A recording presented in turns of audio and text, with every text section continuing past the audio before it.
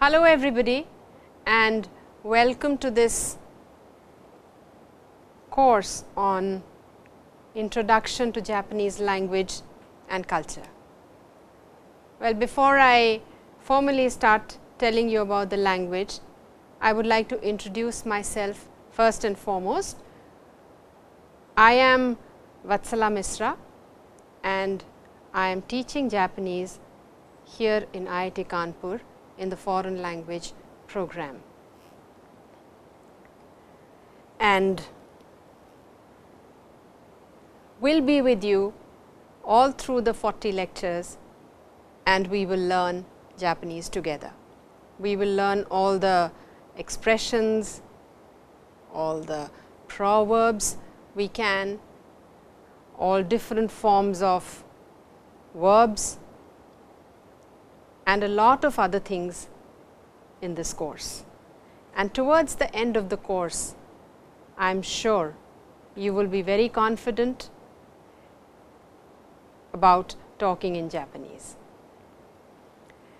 Well, these lectures are basically based on my experience with students over these years, what they want of the course, what questions they ask, what is important for them and on all these things I have made this course. I have tried to simplify it as much as I can,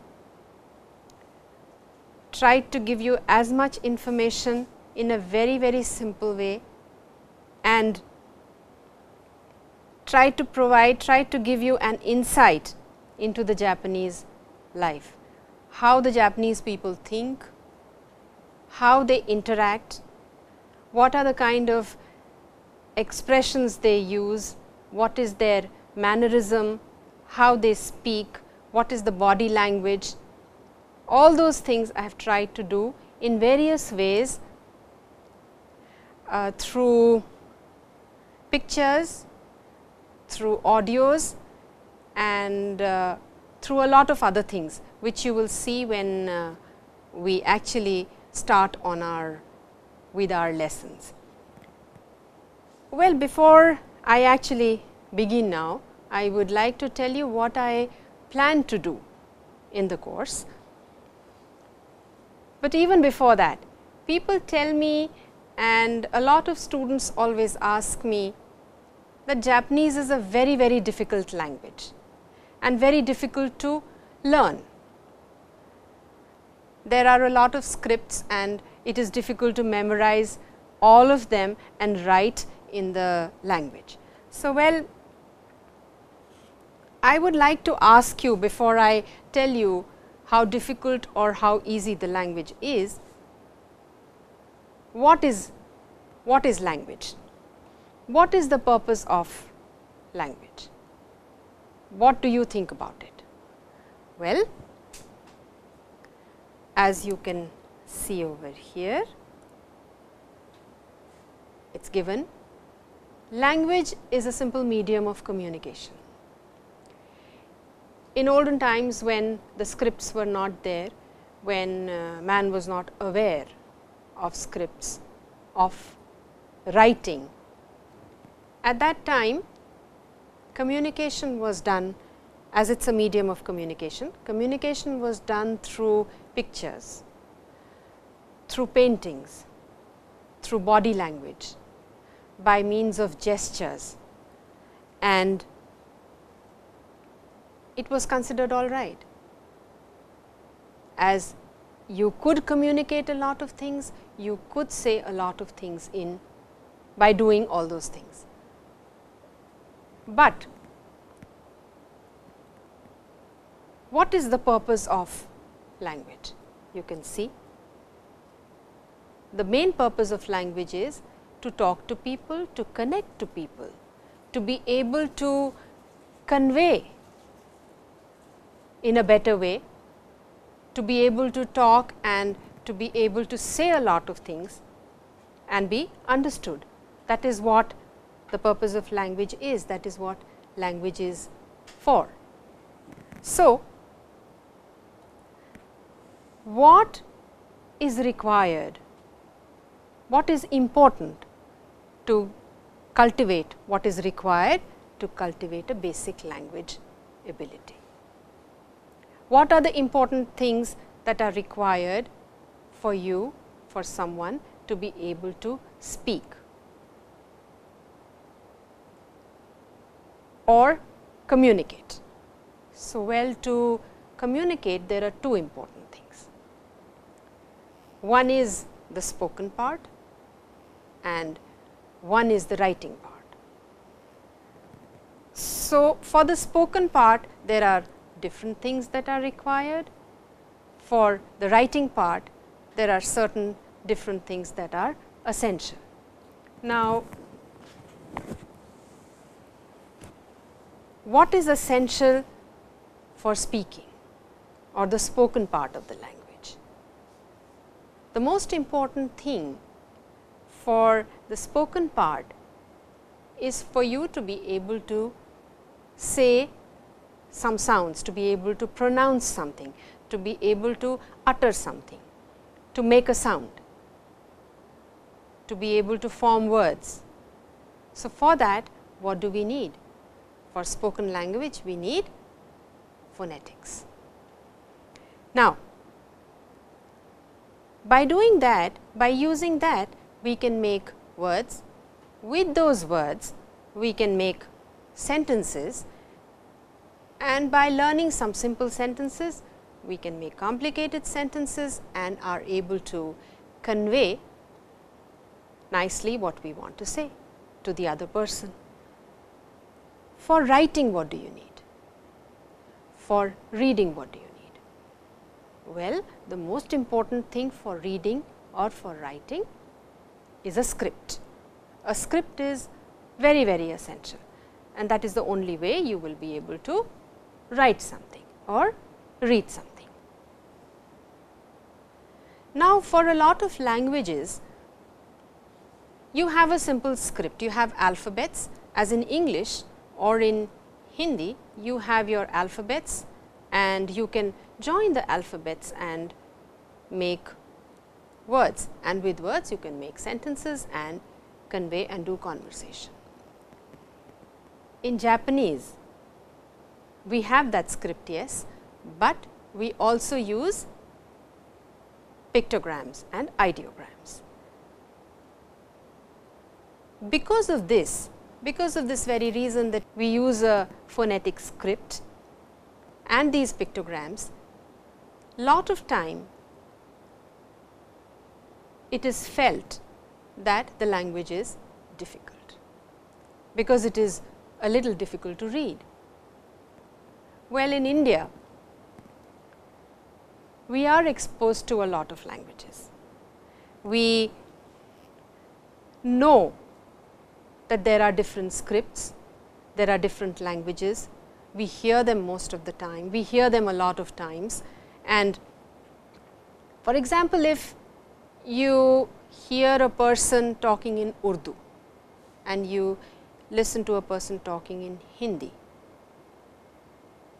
well it is understood. You can understand Urdu to a great extent and the person who knows Hindi can Urdu can understand Hindi easily. But if you see it written, well Urdu script is very different from the Devanagari script. So, what do you think? Does this mean that uh, the person does not know Hindi or vice versa? No, it does not mean that. And that, that happens with a lot of other Indian languages as well. There are a lot of South Indian languages where you can understand when it is spoken, but may not be able to read. And same applies to a lot of European languages. They use the, the European languages, use the mm, English alphabet, but you may be able to read what is written, but then you cannot understand or even decipher what it means. So, well all these things are there and Japanese also depending on what your motivation is, what you want to do with the language, whether you just want to do the spoken part or you want to do the, the mm, written part, you will, you will uh, see the difficulty. So, as such any language is difficult and any language can be easy. It depends on the person who is learning the language.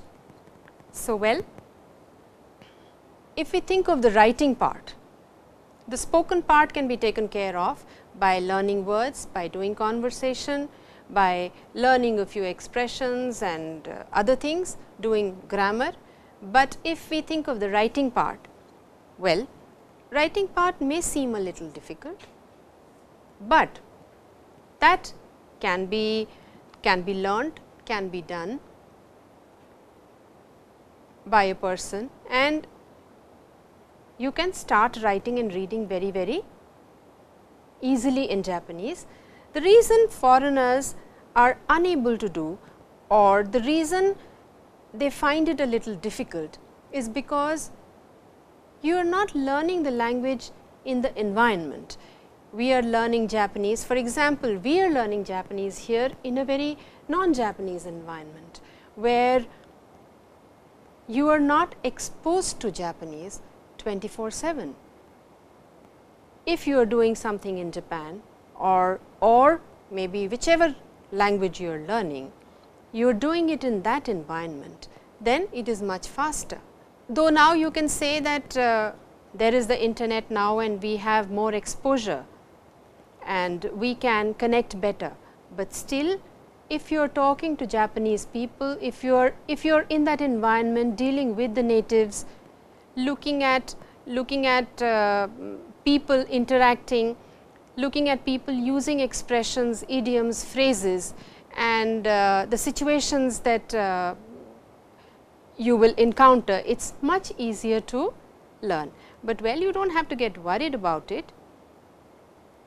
We have tried to make it very simple and shown and I have tried to show all of it through, through pictures, through audios and I am sure it not be as difficult as it seems and after having done these 40 lectures, I am sure that you will be very, very comfortable with the language, with the expressions and grammar.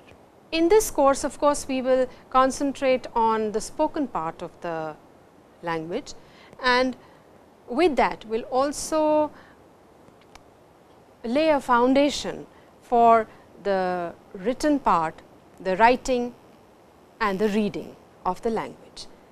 But the main thrust is obviously on the conversation. Now, having said that this does not mean that I will sort of we will just do some kind of situational conversation, you will mug it up, you will learn it by heart and you will reproduce it in a situation and um, that is conversation. No, that is not conversation at all and that is not what we are going to do over here we are definitely going to do conversation, situational conversation, but with that I also plan to teach you language as such. Your interest should be not only on the conversations, but also on learning the language, on understanding how the people are, how they think, how they behave and how they interact with each other. This course is about teaching you how to speak the language, how to enjoy the language, how to learn about the Japanese people and their culture. And well, the people that I think would want to want to sort of uh, do the course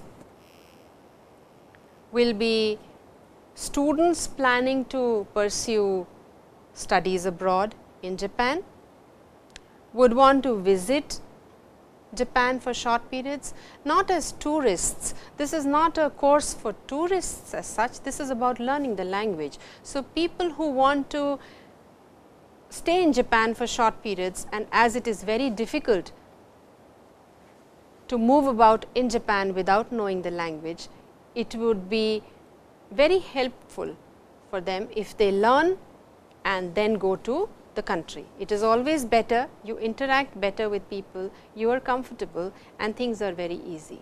And of course, for students who are applying for jobs in Japanese companies and most of all the most important thing people who are who have an academic interest and would like to know more about the language. So, this course is all about this and that is how we are going to move ahead.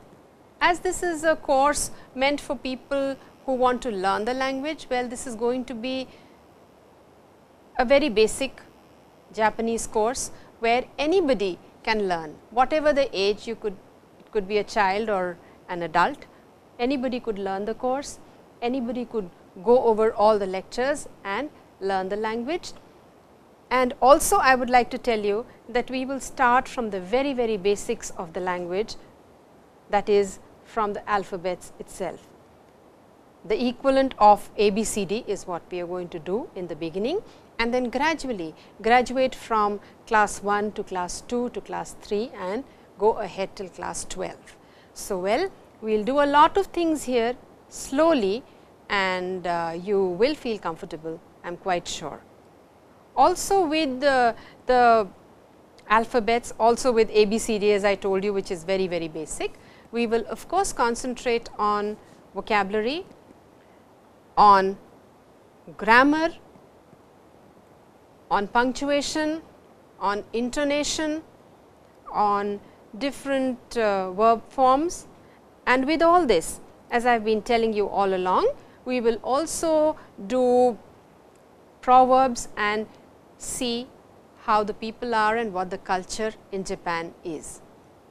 So, all those things together we will try to do this course with the help of with the help of uh, pictures, with the help of audios, try to help you as much as I can and give you an insight into the Japanese lifestyle and the people and their culture. So, well now enough of all this and uh, I think we should start with our class and the first thing that we have to do over here is the scripts. So, well there are three scripts in the language. We have as you can see over here, we have hiragana, katakana and kanji. So, these are the three scripts. The hiragana and the katakana are called the kana scripts in Japanese and kanji is the ideograms and the pictograms. We will discuss kanji of course in detail later as well, but first we should talk about hiragana and katakana. Now, it is interesting that till the 4th century AD, the Japanese did not have a script and they had a language, they had a language, they could talk freely, but there was no script. So, now if you do not have a script, well you cannot document anything, you cannot write anything. So, as traveling increased and as people started coming to Japan, trade was happening. So, through trade and through people coming into Japan from China and Korea, lot of pictograms from China entered Japan. They realized that this was some kind of a script which they could use for documenting and slowly over period of time with the help of these pictograms which entered Japan at that time via trade, hiragana came into being. They developed this new script which was called hiragana. Hiragana is a script which is used for Japanese words, words of Japanese origin belonging to Japan and then with trade with people coming in with Japanese people going out probably to Korea or to China, foreign words also entered into Japan. Foreign words slowly came and they were being used in the language. So, now there was a problem as to how to write those foreign words. From this, from these pictograms, from these pictograms and ideograms, which were already there, katakana was made. Katakana was developed for foreign words. So, the difference between hiragana and katakana, basic difference is that hiragana is for words of Japanese origin and katakana is words for Chinese or foreign that time Chinese and now of course, foreign origin. Also because kanji came first, the pictograms came first to Japan, the ladies were not allowed or could not get access to these kanji characters and they were not allowed to write. Slowly over period of time when hiragana was developed, the ladies got the script of hiragana and they started writing in hiragana. And thus this you will notice that this script when I show you the script you will see that it is very cursive, it is round, it is circular whereas katakana is very angular. We will discuss of course these Chinese characters later also. For the time being these are just pictograms and ideograms meaning pictures and ideas shown depicted in line form. We have a few for example, a sun. When, when someone says make sun, what do you do? This is exactly what you draw and automatically anybody would say that this is sun. Now, what does the sun do? The sun divides day and night into a day into two parts which is day and night. So, well if you want to show this in lines, this is how it is going to come, it is going to divide like this. So, it is to be a square and it will be divided in this form in this manner like this. So, when you look at when a Chinese or a Japanese would look at this character immediately the picture that comes to their mind is of sun. Now, after the course when you look at this picture all the time you will think of the sun or something to do with light something to do with brightness, something to do with day or date. So, these are the things that will come to your mind. This is how these pictograms and ideograms have come into being. A certain idea, a certain picture that forms in your mind when you look at something is shown or depicted like this in form of straight horizontal and vertical lines. So, well we will go ahead now and see what hiragana and katakana are. Well, the kana scripts are phonetic scripts, they are symbols, phonetic symbols, whatever you say, you write. So, hiragana has 46 basic symbols and so has katakana also 46 basic symbols. Now, there is a second set also of both the scripts for both the scripts. The second set has 25 characters each and the interesting part is that the second set is made from the first set using by using just two symbols like this and this. These two symbols are used in the first set and another second set of 25 symbols is made. So, this is the Kana script of course, when you see you will know. You can see the stroke order. Stroke order means how the character is made, what is to be drawn first and what comes after that and what follows later.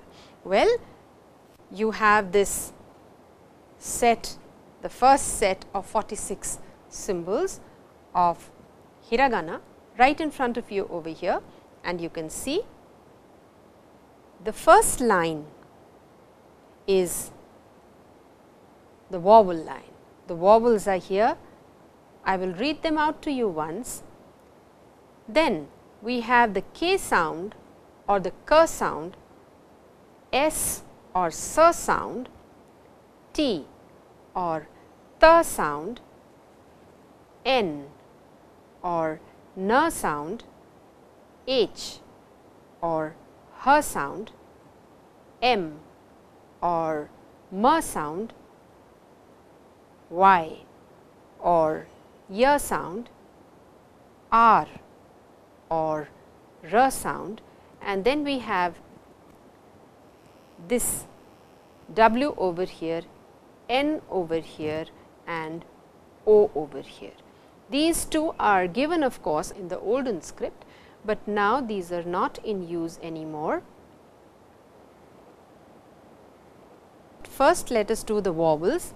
Well, the vowels are you can repeat after me a, e, u, a, o.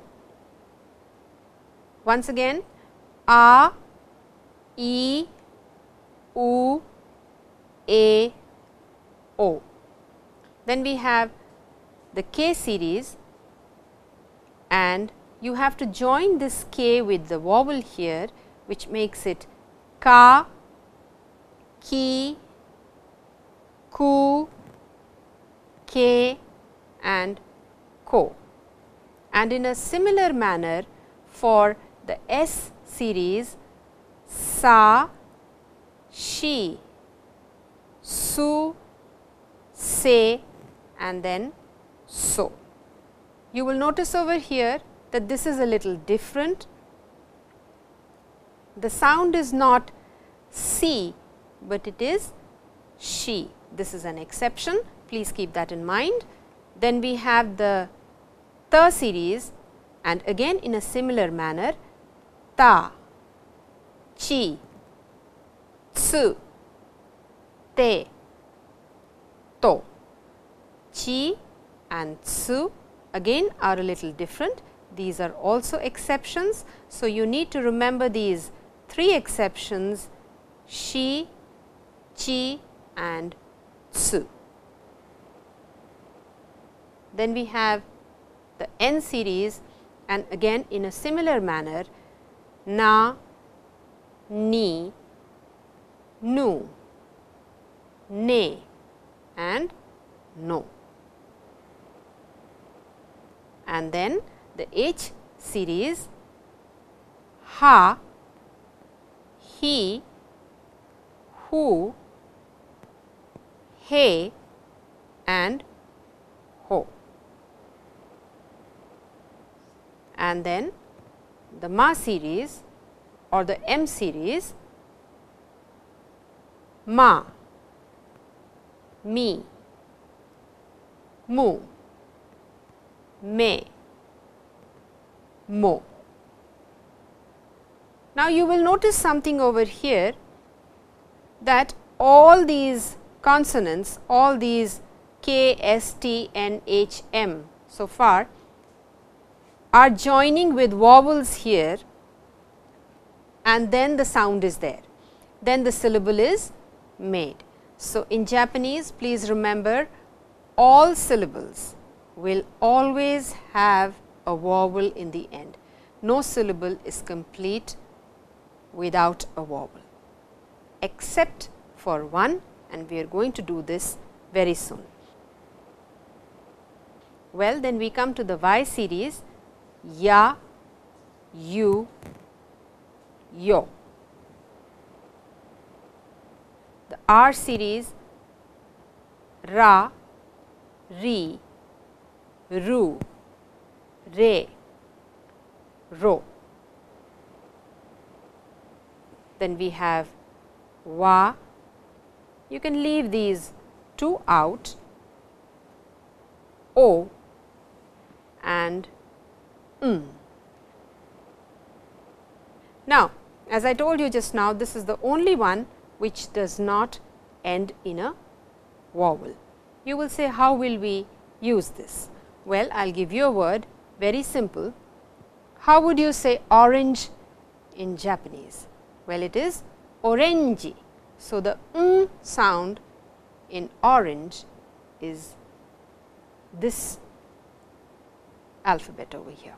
Then, if you take the word in Japanese, it is mikan for orange. So, well mi ka m again you see this m sound that is how it is going to be used and you will notice for all of them that they all end in vowels. You can write them very nicely the stroke order is given very clearly over here and of course, you can go on the net and see hiragana and katakana and different ways of writing hiragana and katakana. Well, this is very clearly given in different colors for you to remember. The exceptions are also given over here and you can revise it and do it at home. Now, you will see that katakana though the pronunciation is the same, writing system is given over here, but you will notice that it is very very angular unlike hiragana. I will show you the slide once again. You can see how cursive and round it is, how feminine it looks and then this katakana over here extremely masculine, very very angular. So, well it is the same. A, e, u, a, o. Ka, ki, ku, ke, ko, sa, shi, su, se, so, ta, chi, tsu, te, to, na, ni, nu, ne, no, ha, hi, hu, he, ho, ma, mi, mu, me, mo, ya, you and yo. Well, the these two are missing in both hiragana and katakana because it is very similar to this sound. So, thus it has been left out then you have ra, ri, ru, re, ro, wa, o and m. Now, this o and this o for both hiragana and katakana have a different meaning. This is a vowel and this is used as a particle in the language. Now, we will talk about particles also, but a little later. For the time being, you could just keep it in mind that O over here is used as a particle and not this O, but the O in hiragana. Please remember that. Hiragana are used for words of Japanese origin and also to change tenses of verbs and to show different verb forms. Hiragana is used and katakana of course, is for foreign words. Well, this is katakana for you. You can see very clearly again in different colors, easy to memorize. So, you can do this.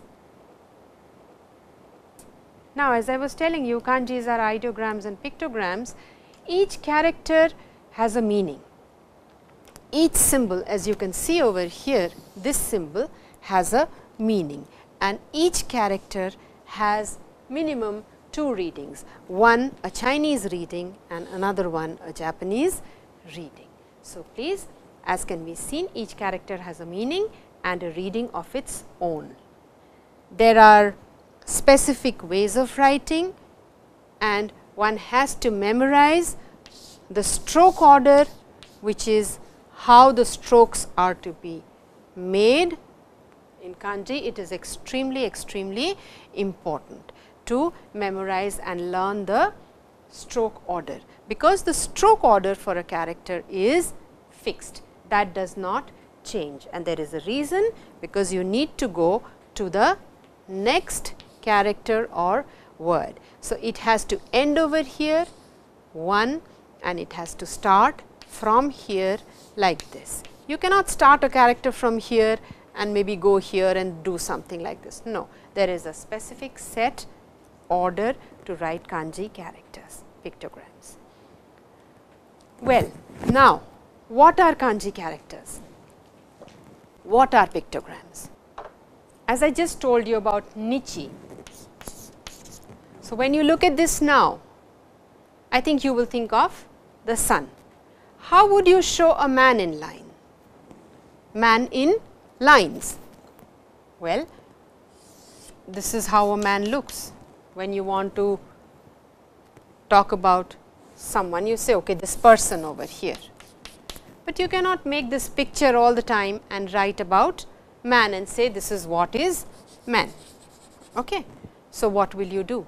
Well, just remove the head from here, just make it like this. When you look at this picture now, what does it look like? Doesn't it remind you of a man? Well, you can see now, see when you make this you know it is a man. So, in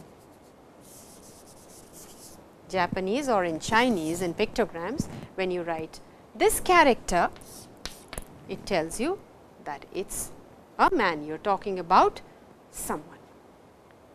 Well, if you if you if you look at this what do you think it is? It is water is not it? It looks like a river flowing. So, well it is going to be made like this. If you look at fire, how will you show fire in, in uh, a character?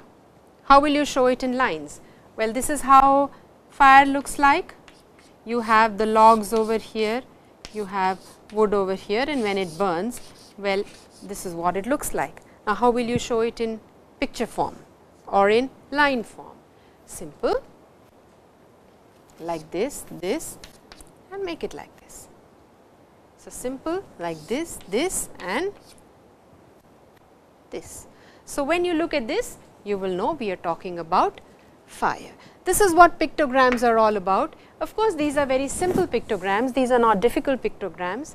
You can relate to them, you can, you can understand these very clearly. It only gets complicated when it becomes a little abstract. So, well we will do with that, we will do all of that later. As I told you this is hito, this is hito. Now, what does this look like? This looks like a mouth, an opening, is not it? So, if you join these two characters, it means population. So many mouths, so many people, so many mouths to feed and what is that? That is population. So, well that is how you would think of kanji characters. There is one more very simple you have done this one over here this means fire and what is a volcano? Volcano throws fire. A mountain is like this. You can see with the base over here this looks like a mountain so, well if you have this and this automatically even if you do not know the word you know that this is a mountain which throws fire. So, it is a volcano. So, that is how these kanji characters have come into being and that is how you write them, that is how you show them and you understand. Now, Japanese is written horizontally and vertically as well. You can see horizontally you can see it is written over here and vertically you can see how it is written. You can also write like this, but it starts from the right side please remember not from this side. You go this way, but when you write horizontally it starts from the left side that is very very important. Also you will notice something else over here there are no spaces. at all and kanji characters, hiragana characters are all used simultaneously together. And of course, you can see there is this katakana also used over here. So, in the language all three scripts are used simultaneously, which was not happening earlier. Earlier, for a long, long time, the Japanese continued to write in either kanji, katakana or hiragana. But now, as you can see very clearly in this slide, all three are used together. Now, as I told you there are no spaces, something is written over here in Japanese and something is written over here. We are used to space in between words, but the Japanese have no problem at all in reading this. Why? Because you have kanji pictogram, you have the hiragana in blue and then in red you have in orange you have katakana. So, without even spacing it is very very clear.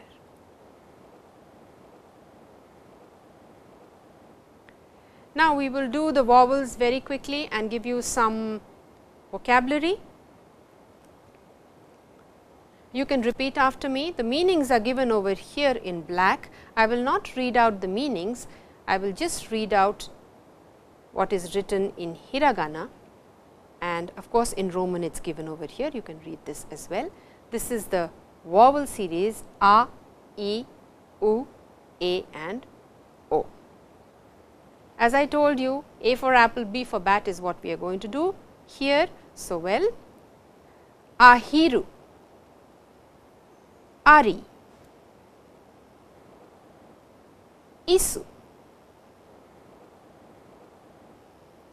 inu, ushi, uchi, ebi, eki, origami, om.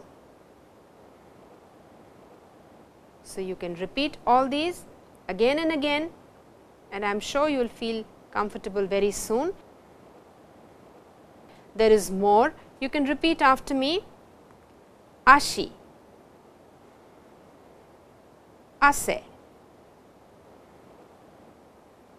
ishi, ito, usagi, ue. uta, eki, eda, oni, okashi, otera.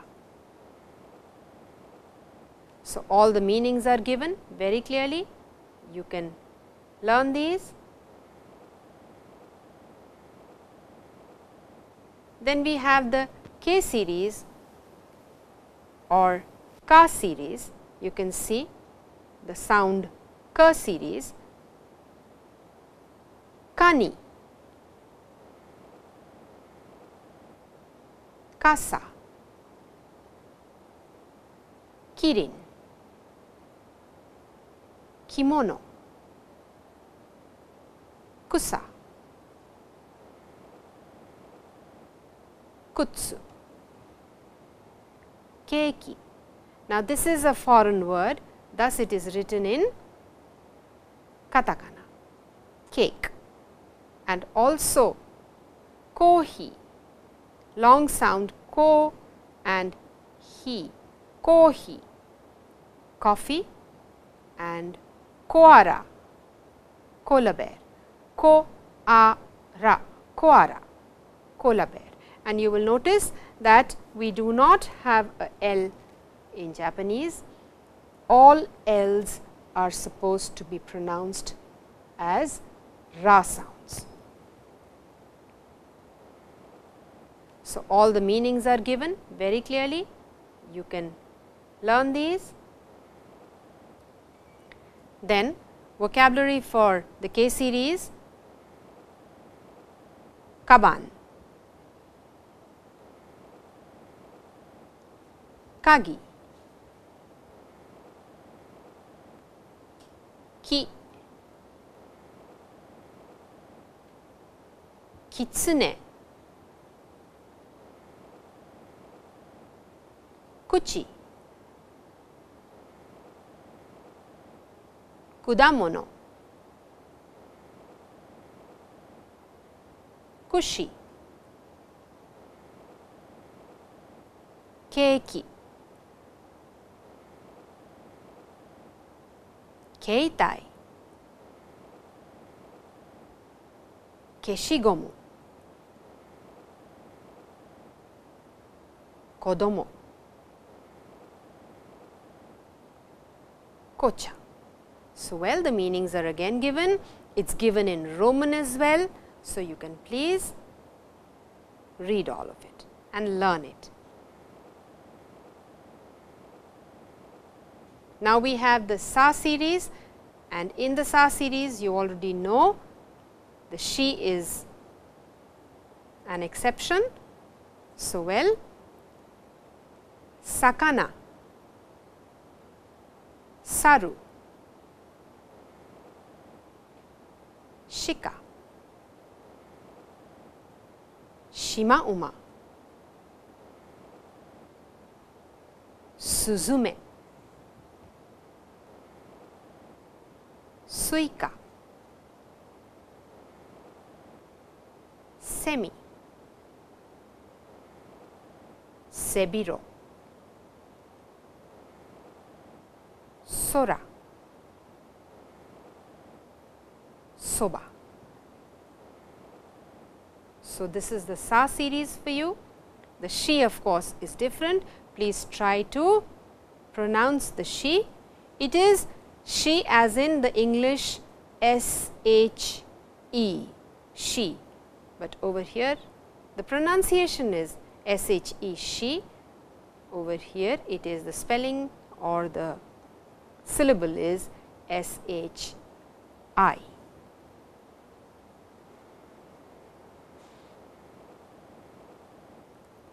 Some words again. Sake, sara, same, shichi, shingo, sumo, sushi, senaka, seta is a sweater and the sound is a little long. And in the end we have sura.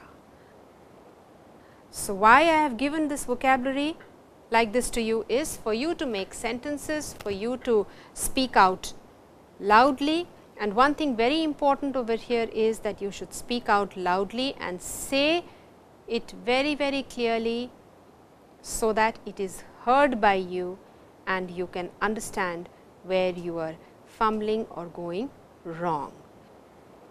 So, well the meanings are again given, it is given in Roman as well. So, you can please read all of it and learn it. Now, for your first lesson there are a lot of things, but well we should do the numerals over here the numbers. So, well very very quickly it is given the equivalence of all this is over here. Ichi, ni, san, yon, go,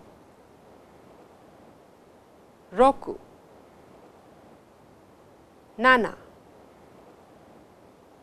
hachi, kyu, ju.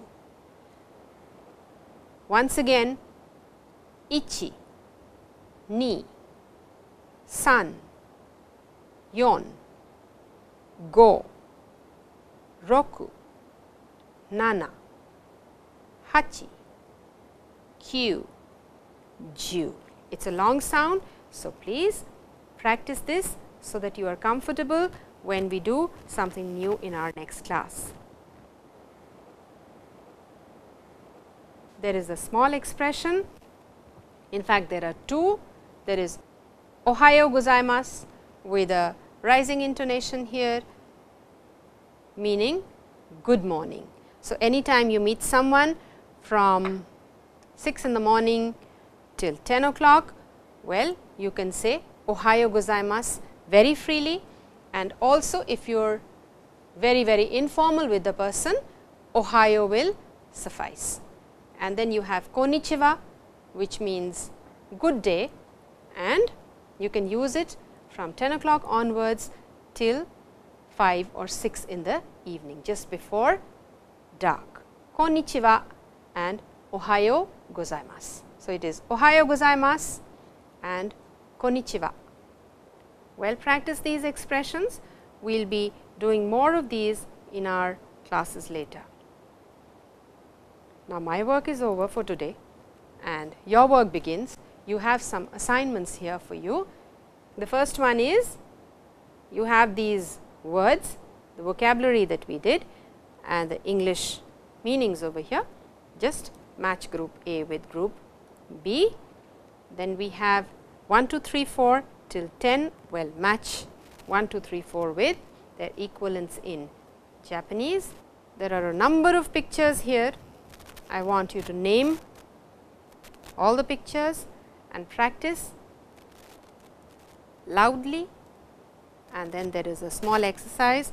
There is a small picture here of a lot of things, just list the objects in the picture. With that, I will end for today. Today has been a little long for you. Well, with this I would like to end. Thank you very much and mata aimashou. And this phrase that I am using, I will explain to you tomorrow. So, minasan また明日会いましょう。ありがとうございます。Thank you.